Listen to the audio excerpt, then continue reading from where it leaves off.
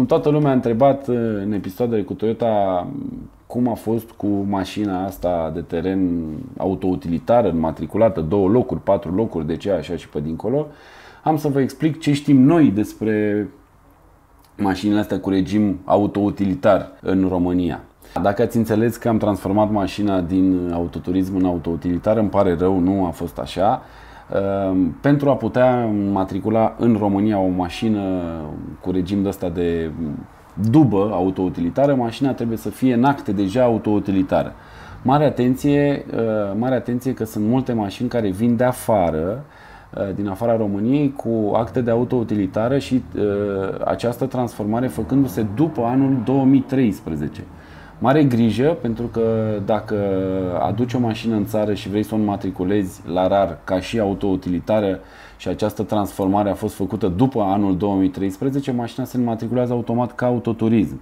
Deci, mare atenție, nu achiziționați mașini care au fost transformate în autoutilitare după anul 2013, nu contează din ce țară provin.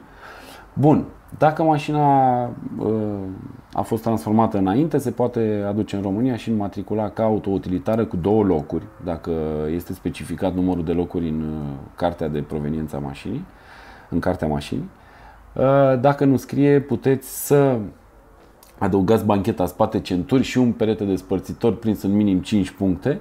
Perete despărțitor din plasă l-am făcut noi, plasă metalică Uh, și dacă mașina se încadrează din punct de vedere al uh, masei maxime autorizate ca fiind autoutilitar cu 4 locuri, uh, cei de la RAR o vor înmatricula ca autoutilitar cu 4 locuri. Asta am făcut noi, am mutat peretele despărțitor din spatele scaunului șoferului în spatele banchetei spate, montând bancheta spate și centuri spate, pentru ca această mașină să fie înmatriculată cu 4 locuri, având norocul ca pe cartea de Danemarca să nu fie specificat numărul de locuri al uh, mașinii din 2 în 4. Referitor la alte mituri, uh, dacă ați mai auzit, uh, noi le așteptăm în comentariile voastre la acest filmuleț să le discutăm împreună. Dacă știm să vă răspundem exact. Dacă nu, putem să ne abținem că nu e nicio problemă.